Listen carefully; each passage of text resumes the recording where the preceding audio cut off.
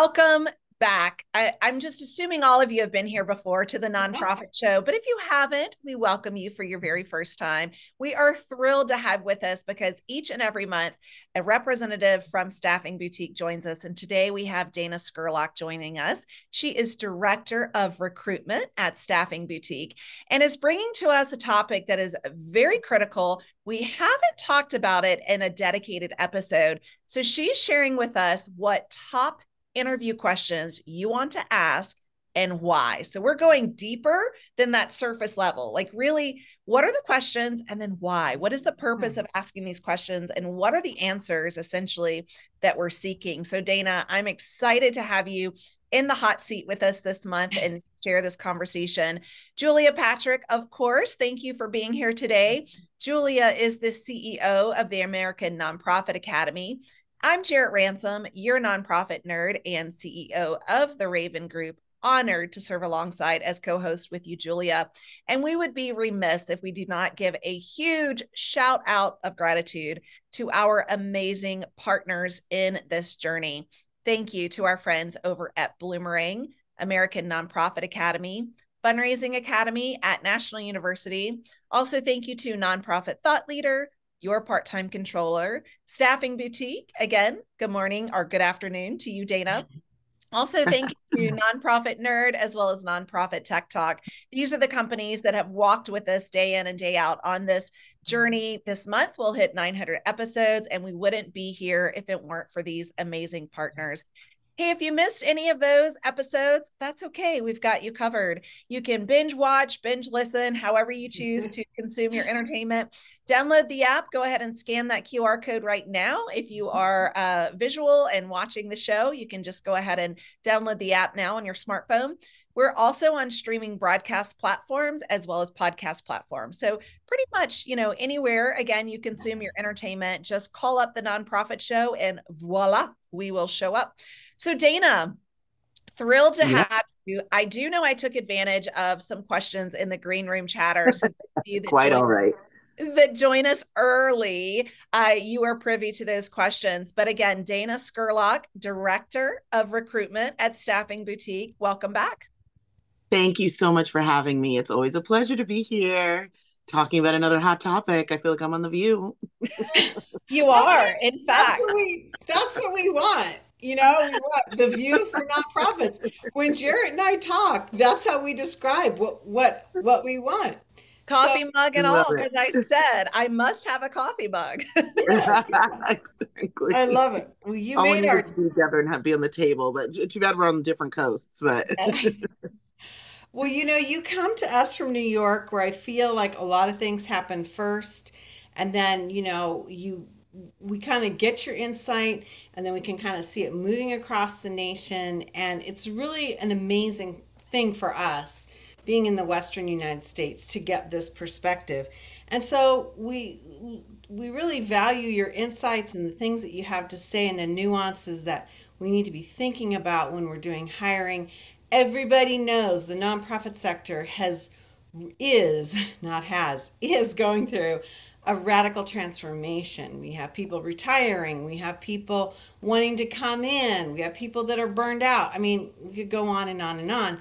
And so it just escalates the recruitment and the interview process. So we're going to ask you about five different questions that you've advised us that we should be asking, but more importantly, what are the answers that we're looking for and what are we trying to glean when somebody mm-hmm. answers? So let's get to the first one how do you define work life balance for yourself?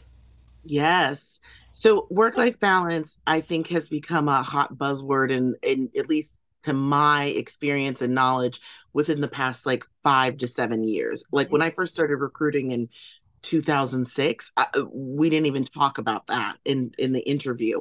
Um, but now it's something that we're constantly even on the initial screenings you know we're talking about this this idea of work life balance i think that is a good thing and it's a testament to workers pushing back on employers to make sure that things are as equitable as possible um, and making sure that they are balancing um, their ability to continue their career in a vigorous robust way while also having um, a personal life that also supports that. And I think that there's often the idea that like you either get one or the other and not both. So I love that we ask this. I think that now the question is for us as hiring managers and for organizations and recruiters to start digging into what does that mean for the individual that you're speaking with?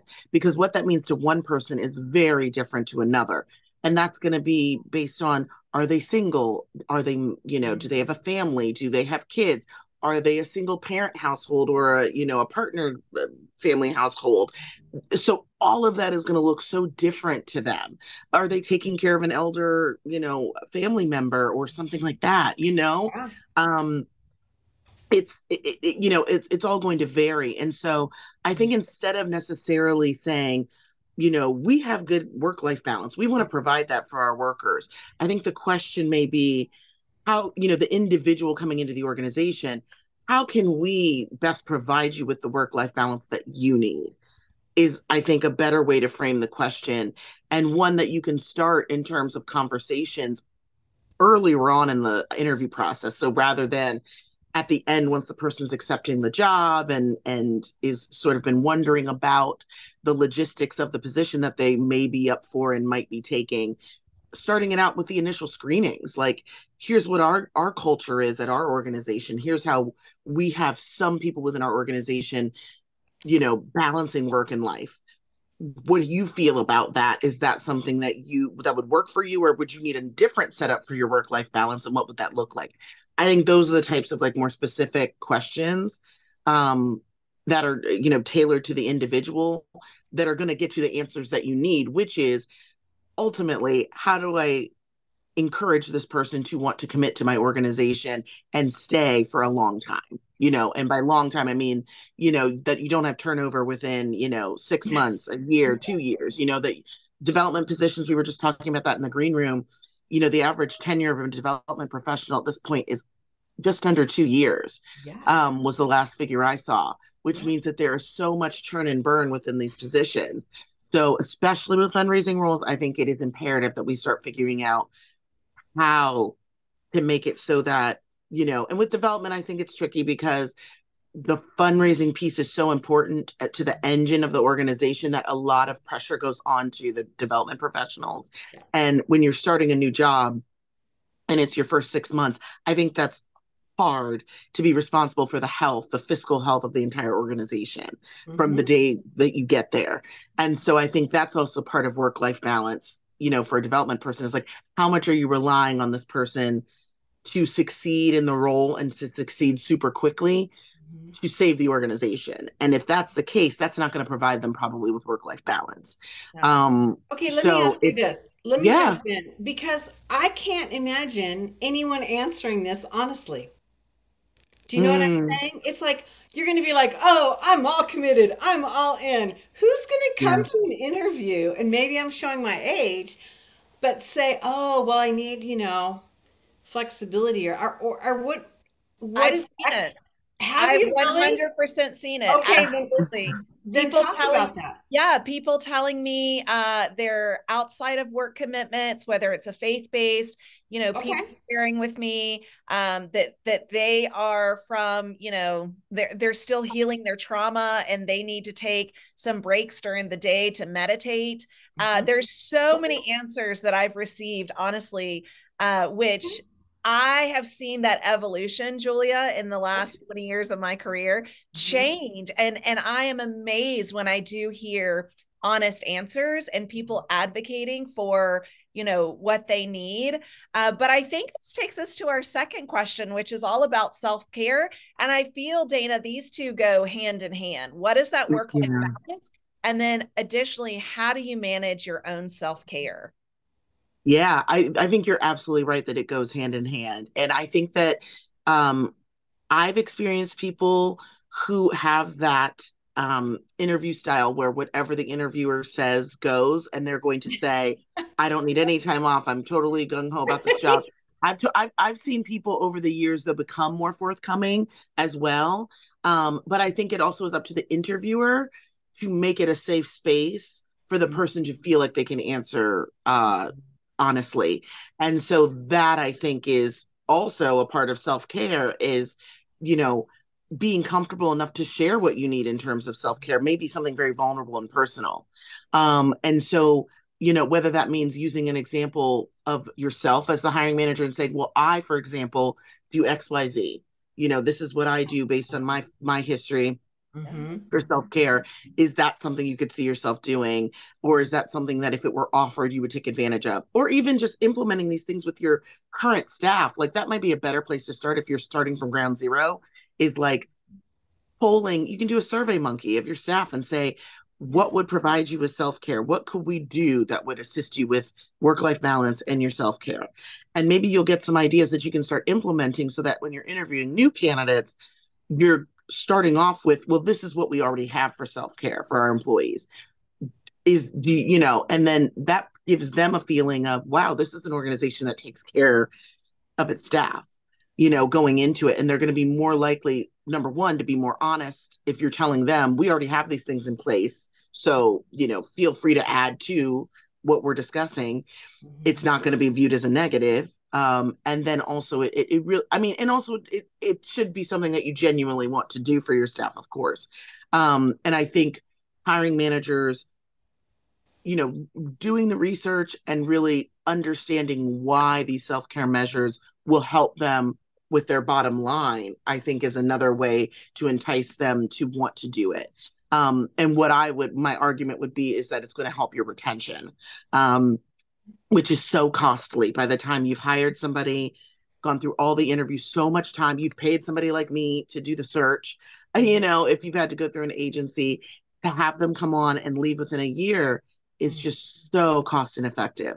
And so you know my argument and there's some things in life you can't change. People move people you know have emergencies in their family and things like that but other than those you know you really want to be retaining the majority of your staff that come that are able to continue working um, and so that's i think thinking about your current staff and how you can support them with self-care is going to help lead you to how to present those during interviews for new candidates I mm-hmm. absolutely love that. And I feel like we could have an entire conversation, and maybe we will, about creating the space for the interview, right? Like really creating a space to ask the questions, to provide, you know, information, leaning in to say, here are some things that I personally do to take care, you know, of myself as well as developing my own work-life balance. Um, you know, I, I always feel that when someone shares from a place of vulnerability, it does allow the other person to lean into that that's their choice, right? Whether they do right. or they don't. But mm-hmm. the ultimate goal is how can we support you as an employee and I would think we certainly want to know that before we make that offer so that we can, you know, develop develop that space. Absolutely. Yes. And a lot of people I think as candidates tend to do the sort of bait and switch like they want to get the person enticed in their or the organization enticed by their background and then start making sort of these demands. I, I, you know, I hate to call it demands, but start making these requests, accommodations, and right. they may not work for the particular position that they're applying for. And so I think by starting the conversations with the hiring manager early on, I think that that also helps with that because if somebody wants really they want to work from home 4 days a week and they don't want to come to the office too much because they've got three kids and they really can't do it. It's better for you to know that early on. And I think what a lot of candidates will do is like, hold their cards close to their vest, not mention it until you're ready to give them an offer. And then they'll say, Great, I have an offer. And now here's a slew of things that I need to make sure that I would want to take this job. And it's mm-hmm. the first we're hearing of it. So it's not just the candidates, it's also the the hiring managers have not brought this subject up. Yeah. And then especially nowadays post pandemic, people are more familiar and fluent in the ideas of flexibility of scheduling things from home and we've got all this great technology that allows us to do a conference call today you know that can be mm-hmm. streamed out to everybody. And so people are kind of you know uh, utilizing those things but i think the conversations need to happen a little bit earlier than they are right now. Because i've had a lot of offers kind of like go wonky because of that. And it's not anyone's fault. It's more of just we should have discussed it earlier and found you a placement that that accommodation made sense. Are you finding that we should ask this in interview one? I'm familiar with a series of interviews. Mm-hmm. Um, is it conversation number one, two? I mean, where, how Where soon do we ask these questions? Yeah, it's a good question. That's a very good I think that it may depend on the level of the position. So, for example, if it is something that is like an entry level administrative role, I think the first interview can really run the gamut of everything. I think if it, it- and I think that the content of the interview is going to be, um, it's going to make sense to be able to ask them that because how long do you need to interview? In other words, like if you're interviewing a, a, a receptionist, it's not going to take you as long as interviewing a CEO. Right. So that you can probably lay all your cards on the table with a more entry level position.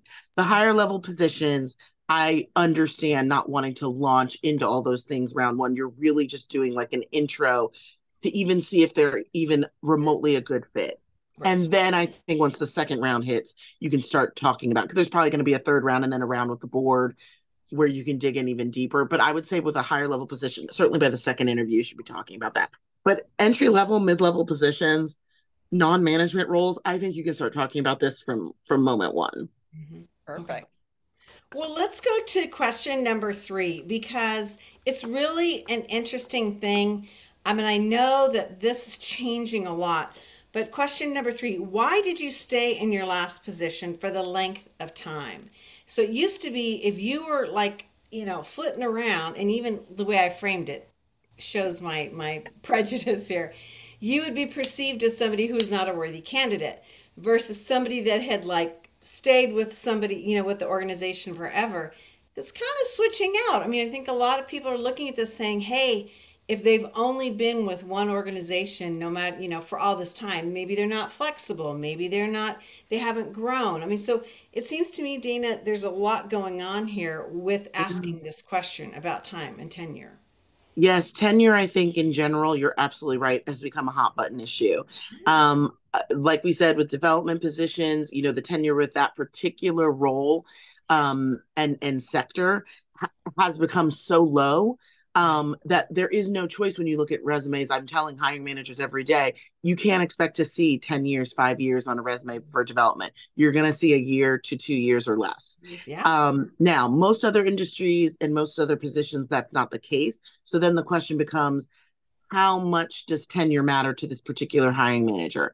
I would say that if it were left to all the hiring managers, they would love to see tenure that uh, you know shows that you stick with one organization for like three, four years at minimum. Okay. Um, or or they would love to see more. I think they're not seeing it on resumes, and so they've just had to adjust to to the reality that most people are not staying as long as they've in in the past that they've seen on resumes. Um, as far as culturally why that is, I think there's a variety of reasons. Number one, if an organization is not fulfilling your needs, people are less afraid to go ahead and move on. It's a candidates market, unemployment is very low. They know they can find another job. Mm-hmm. During the pan I'm not the pandemic, during the recession in 2008, people weren't moving because they didn't have options. So I think people are as flexible as their options are. So like if if the hiring managers have 10 options of people that have great tenure that have been in places for 5 to 10 years, they're going to gravitate towards them. I don't think there's much we can do about changing their mind about that because it is more of an insurance that the person will stay and, and you can't afford to replace people every two years. Um, but i think it's good to ask candidates what about that job was unsatisfactory that you felt you had to leave so quickly? Especially if you're seeing a pattern on their resume of Okay. tenure that's very short. I think that's the bigger issue for hiring managers these days than just one job that has short tenure. It's if it's multiple jobs that you know you're staying at one job for a year and you're bouncing to the next one in two years and then on you know two three jobs where you've just stayed for a little while. I think if it's just one job where that was short people will very mm-hmm. quickly be able to overlook that. So devil's now advocate, is that my prejudice? I don't know. I i look for tenure when i'm looking at resumes. Okay. yeah, I was going to say devil's advocate. I do see very frequently in our sector, the wonderful nonprofit sector, often a younger candidate will jump to you know to another organization at a higher position and then go to another like they use different organizations to climb the ladder if you will Mhm. as opposed to a limiting ladder climbing you know Yeah. technical word there uh, within one organization because there's simply not upward mobility. And so What if that's the case, Dana? I think you can totally make the case for that. And I think that it will be clear in that person's cover letter or okay. in the interview with them if that is the case. So if you're talking to them about, you know, and I think that you can also phrase these things in a way that are less accusatory, such as like, yeah. Yeah. Well, when you moved on from this organization, what did you find was different? What was the, you know, incentive for you to move on from that place versus like, why did you leave there after a year? You know, yeah. kind of positioning. Um, and if their answer is, well, this was a, a bigger job with more responsibility and they're showing that ambition, that's going to be, you know, that's probably going to supersede the tenure issue. Mm-hmm. If their response is, well, my friend called and they said that this place was hiring, so I decided to move over here, that's going to be something. So it, I think it's going to kind of be, you have to create an environment where it's safe to share and ask them honest, open questions, be vulnerable yourself, and hopefully you'll be getting truthful answers from them, from the candidates, and then you'll be able to glean and read between the lines. I mm-hmm. think that most people want to be ambitious and seen as a go-getter, and it's going to be very clear who is sort of just moving jobs to moving job to move a job. Yeah. And I see that all the time. There's people that are like that. And they may you know be good workers that you can utilize in a certain position but maybe you don't want to make them like a manager if you know that that's their tendency right. um, but maybe if they're interested in a more entry level position with you you may be comfortable with that level of commitment that they have i so think that when especially when you're getting the higher up jobs you need like that would be a red flag to me sure okay.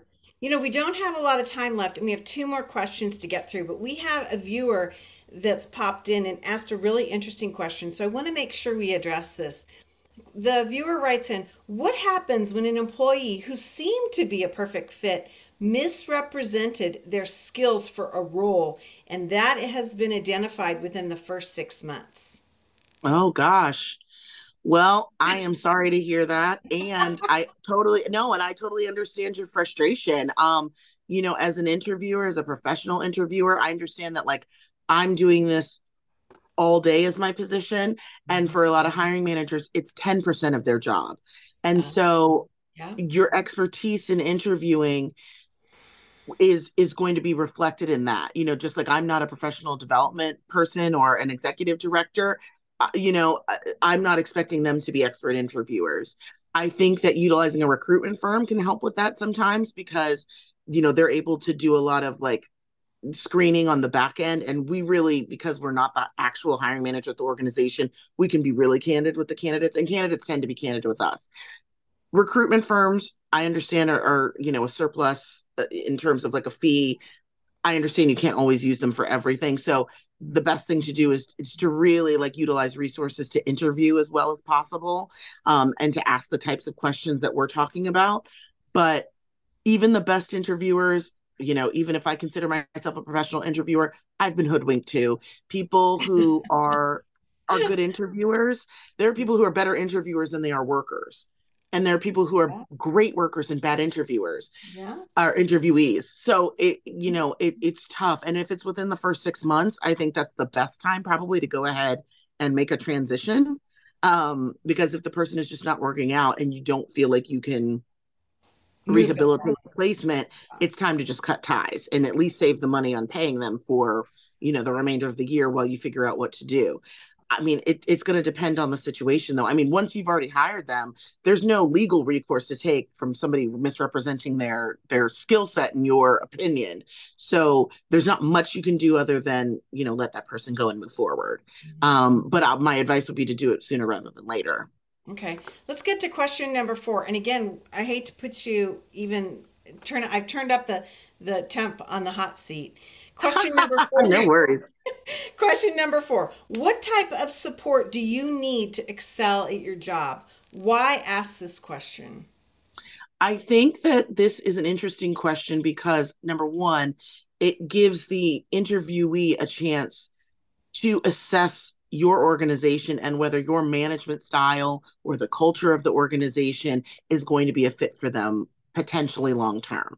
And I also think it provides the interviewee with the feeling of, wow, this this entity, this organization, this person that represents this organization, they really want me to succeed and they want to provide me with the tools to do so. Yeah. So I, what I find a lot when people are talking to me about their current employer or previous employer is they'll, they'll say, you know, the expectations were high, which I have no problem with, but I was never provided with the tools, nor was I ever asked what tools I needed to to get ahead. They didn't know what tools I would need coming in. They didn't seem to, you know, be able to provide me with them when I would ask for them. And so I think it would be a great green flag for people interviewing with your organization to hear that type of question that they want you to be able to be equipped well armed and and well trained and comfortable in your role from the get go. So even at the interview, they're asking you how they can prepare you for the role. Um, and again, I think it's the same thing as with like the first three questions about self care, about it's going to depend work life balance depends on the person. What I need to excel is different than the next person, and so finding out specifically from this person what they need to need from you to excel, I think is invaluable information. Okay, question number five. We talked a little bit about this in the green room. Jarrett Ransom, if I asked you this question when you're starting out in your career, what would have been your answer? How do you see yourself in the next five years? Yeah. Well, so it wasn't right when I started out, but it's I certainly did answer it this way, Dana. How do you see yourself in the next five years? And I certainly said in an executive position. And in the green room chatter, right? Julia said, and how did this go over? Right. And I said, fabulously. I got the job. They saw my ambition. They saw yeah. leadership track and my desire to, you know, to excel in my own way. What do mm-hmm. you think we're seeing as the answers for this, Dana? When we ask someone, how do you see yourself in the next five years? What answers are we really looking for? So I think that this is kind of a, a, a dummy question, if you will, sort of a generic mm-hmm. version of how can we as an organization as an entity assist you with your overall career do you mm-hmm. see being here as a way station to where you really want to get to which might be you know opening your own organization or nonprofit or do you see it as something where that this is like the type of mission you want to commit to for like the foreseeable future in your career? So i think that you can ask this question in a lot of different ways. I think people interviewing for jobs are expecting this type of question and they will have come up with some sort of canned answer. Mm-hmm. um, what i would suggest is encompassing this idea but asking it in your own style so and tailoring it to your organization and for the position so again if you're hiring for you know an entry level job as an assistant the I think the way that you frame this question might be different than somebody who's auditioning or or interviewing for a high up executive role. Because mm-hmm. as the executive, like it could be, how do you see yourself in five years? I might be like retired in five years if you're talking about like an executive director, you know. So I think that you also have to kind of like see see how it makes it. and that might work for that organization too. It might be a perfect fit for this person to lead them for the next five years and then move into retirement and they're grooming the next person to come, you know. So I think it's a great question and it puts the onus on the interviewee to think about if they haven't thought about what are your goals with joining this organization? Are you just moving jobs to move jobs? Are you just trying to get a job to get a job? Right. Or have you really thought about the trajectory of your career? And I think there's another option here is like asking these questions early on and saying to the person, if you don't have an answer now, I'd love for you to think about it and send me a follow up email after we meet. Wow. Now that you've learned more about our organization, and then seeing what they, instead of like under duress, like what they answer when they're interviewing yeah. with you, have them give like some thought to it because they may not have um and so I and then just that. giving and and the, like very quickly being like you know what? If you don't have a specific answer i actually understand that because who knows what tomorrow may bring and you you know and like i was saying in the green room i like to make decisions based on what's the information that's available right now. So like for me to mm. answer where i want to be in five years the answer is i don't know. Like, like I, I don't i don't know. It depends on what's going on in, in five years. So Right. I think that that's also a way to, you know, do it is have them plant the seed so that they can think about it in the context of your organization mm-hmm. and then provide you with a written answer or maybe in a follow-up conversation and then you'll I think you'll see more of the information that you're really trying to glean which is mm-hmm. for this job at this organization at this time do their goals fit in with ours or not like right. we know that their skills do based on our you know first couple interviews but are your goals so if we have another person whose goals align more um more closely we may want to go with that person and that you wouldn't find out unless you kind of like allow them time to think about it dana well, such Great insight. Thank you. For those of you watching and listening, Dana Scurlock has joined us today. We turned up the heat in the hot seat. Uh, Dana serves as Director of Recruitment at Staffing Boutique. She's very generous with her email. You see it right here, dana at staffingboutique.org. Um, her and Katie Warnick join us. You know, one of them every single month joins us here on the Nonprofit Show so grateful to have your insight into this space, Dana, because I really feel that it is an area where many of us really aren't that experienced. You said 10% of our time goes to hiring. And so let's lean into the expertise that Staffing Boutique provides. Thank you, Dana, for providing that, that expertise. Thank you. I've now always wonderful to be with you guys. You know, it's been it's a great conversation. It's something that we need to spend more time on with you uh, because it's getting into the nuts and bolts of how we bring people in to our organizations and how we keep them. Again, I'm Julia Patrick, CEO of the American Nonprofit Academy. Been joined today by the nonprofit nerd herself, Jarrett R. Ransom, CEO of the Raven Group. Again, we have amazing partners, and they include Bloomerang, American Nonprofit Academy, Your Part Time Controller, Nonprofit Thought Leader, Fundraising Academy at National University, Staffing Boutique, where Dana joins us from, Nonprofit, Nonprofit Nerd, and Nonprofit Tech Talk. These are the folks that join us day in and day out. So hopefully we can really move the needle in our work, get the right people with us, and really achieve our mission, vision, and values. Dana, you always give me new things to think about. Thank you so much. Oh, well, that is a great compliment. Thank you so much. It is always so much fun to talk with you and and with both of you and connect with your audience. And it's just such great to bounce ideas off of you both. So thank you. Oh my gosh, it's been really, really great. Hey, everybody, as we like to end every episode of the Nonprofit Show, we want to leave you with this message, and that is to stay well so you can do well. We'll see you again back here tomorrow, everyone.